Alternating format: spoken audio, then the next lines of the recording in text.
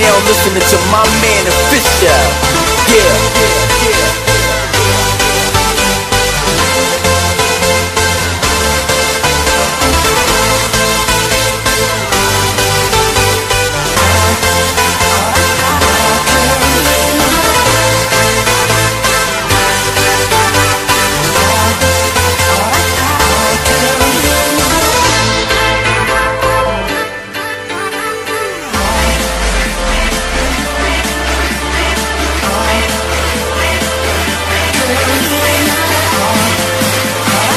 Right now, y'all listening to my main man.